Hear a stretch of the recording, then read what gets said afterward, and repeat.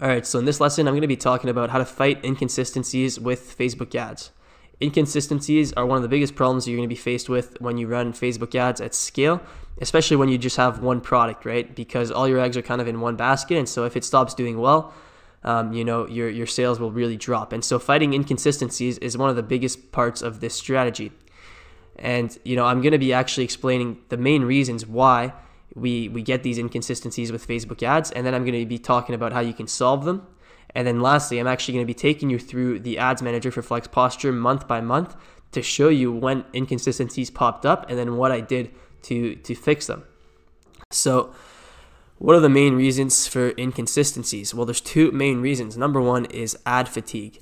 And so this is when you've been scaling an ad for a little while and you know it was performing great at the start, but now it just isn't performing as well. Facebook doesn't doesn't like it as much anymore. Um, people have already seen it and they're kind of becoming immune to it. That's what ad fatigue is, and this happens all the time. Usually after one to two months of an ad, you know, scaling, um, it, it it'll stop performing as well. Then you'll need to start creating new ads. Now the second reason is audience fatigue and this happens especially with you know lookalike audiences and smaller audiences that you're, you're scaling heavily to. Um, you know once you start scaling too much pretty much everyone in that audience has seen the ad or facebook just doesn't this, facebook just decides that your your ad isn't the best match for that audience and then it stops showing it as much. And so those are the two main reasons ad and audience fatigue. And so how do you fight those? Well fighting ad fatigue first of all. The way to fight ad fatigue is to create new ads. It's pretty straightforward, but it's true. So, you know, you need to consistently test new ads. And I know I've said this multiple times in other lessons already, but this is true. It's key. You want to create new ads consistently. And, you know, you can test them with the PPE campaign. That's what I did. And I'll show you that in a second. But um, basically the same thing that I did with the launch, just a worldwide PPE campaign. And then, um, you know, I run it at like $10 a day and that'll get me some data so I can see if this ad, you know, is getting a low cost per engagement relative to the other ads that I'm already working with. And, you know, I can get a comparison that way. And I get the added bonus of social proof. This, so this is really easy way to introduce new creatives at the start. Just test them with a PP campaign. And then if the results look good, you can introduce them in other campaigns. Now, finding a new ad that works on cold traffic is obviously the goal here. So when you create a lot of new variations of your ads, uh, most of them will work really well for retargeting, and that's what I like doing. So that's why my retargeting audiences have a lot of ads in them. Usually, when I test new creatives, I'll also put them in.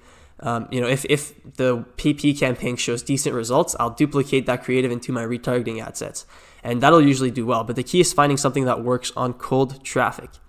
So you slight variations can really be enough, especially for ad fatigue. So sometimes, you know, all you need to fight ad fatigue is change the scroll stopper. And in the case of flex posture, that's all it took. And that's all I focused on is changing the scroll stopper. And that was enough to fight ad fatigue. Now, how do you fight audience fatigue? Well, to fight audience fatigue, you need to test new audiences. So this is all pretty common sense, right? But this is this is really important. So once your audiences stop performing as well, you need to find new audiences.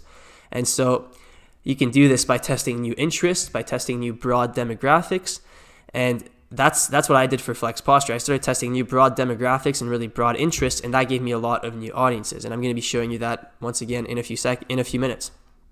Now, you know, you want to test. You can also test new lookalike audiences.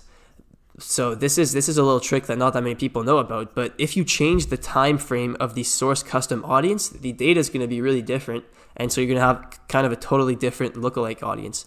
And so, for example, if you've been, if um, for example, your add to cart lookalikes have been doing really well, and you have an add to cart in the last 30 days lookalike audience, well, what you could do is you could also test add to cart in the last 180 days, and so you'd have more data, and so the lookalike audience that it generates would be different. And you could also test add to cart in the last seven days if you have enough in the last seven days. And so by changing the time frame of the source custom audience, you can get a different lookalike audience and you know you can test those and that'll give you a new audience to scale to if you can find one that's profitable. And so I did that a lot with Flex Posture as well. I tested different time frame of lookalike audiences.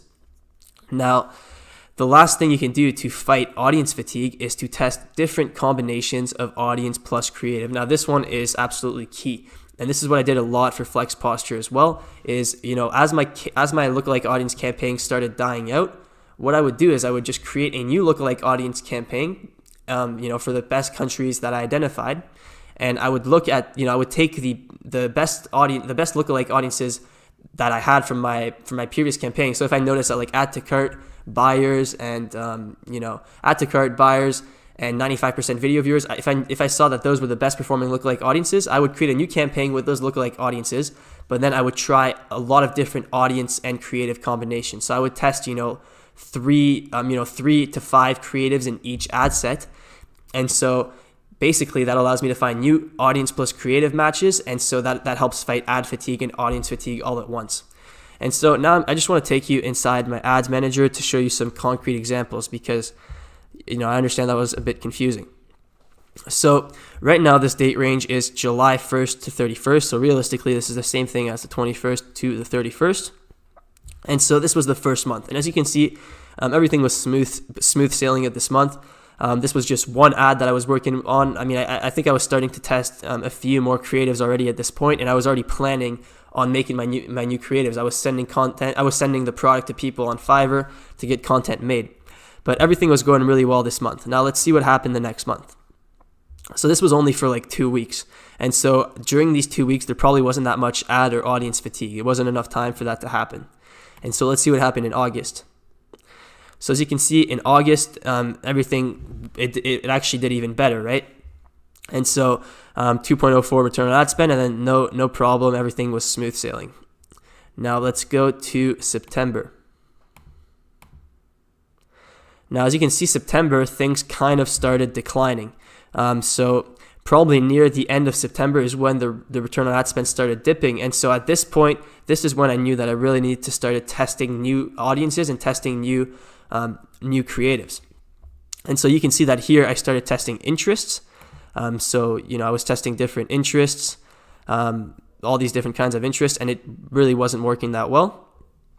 Now, um, let's see what else I was doing. So, I was also creating a bunch of different lookalike audience campaigns for my best country. So, this is what I was saying here about um, trying different combinations of audience plus creative. So, I was creating new lookalike audience campaigns for individual countries and then I was testing different creatives. And so also that didn't work that well, but sometimes it did, you know, like this one right here, um, the UK lookalikes. Um, this one seems like it was doing pretty well.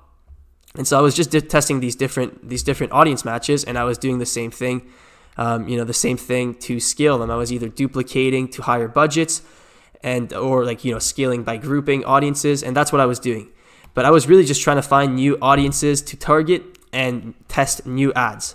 And so to show you that I was testing new ads, let's see um, the PP campaign here. Um, PPE right here. So this was a PP campaign, and um, let's see what I was spending on. So you know, I was testing, I was testing all these new ads. So I tested, I tested three new ads that month. Now, let's go to the next month and see what happened. So if I sort by amount spent again, so if we go to October, so you can see that October I recovered again. So how did I recover again? Well, I probably, so actually I know exactly what happened. So what happened is I found that new ad that I was telling you about. So if I go to Facebook slash flex posture, um, I found this, I found a new ad that was extremely profitable, which is this, um, this one right here. So I found this new ad, you know, by testing a lot of different combinations. This was just one of the same, you know, this was just a different scroll stopper that I tested. And so, you know, this this made all the difference. And I found this new ad. And so with this new ad, I was able to start scaling to extremely broad demographics. So I took a new ad and I started scaling to new audiences. And so I thought that's how I that's how I was really fighting inconsistencies, right? I was fighting ad fatigue and audience fatigue by testing new creatives and then finding new audiences to scale with. And so um, you know, what I spent the majority of my budget on that month is this um, this campaign here, where I was testing really, really broad audiences. You know, just um, literally targeting everyone. Just e packet countries, 18 to 55, 340 million potential reach, right? And so that's how you know that's how I was able to fight this audience fatigue and this creative fatigue. Now let's see what happened in November. So November, it started dropping again.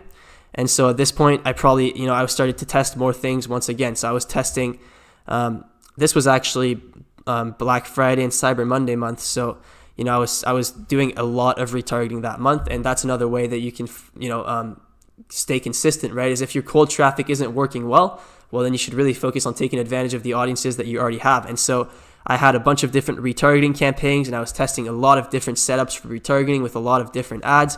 Um, you know, I ran a lot of big promotions for um, for Black Friday, Cyber Monday, um, and really that's that's that's how I was fighting these inconsistencies. I was always just testing new things, testing new audiences, and and really just trying my best to avoid ad and audience fatigue. And so that's really the only way that you can fight ad inconsistencies with Facebook is test relentlessly and find new audiences and find new ads to scale out to. And so that's it for this lesson, guys. I hope it was helpful, and I'll see you guys in the next one.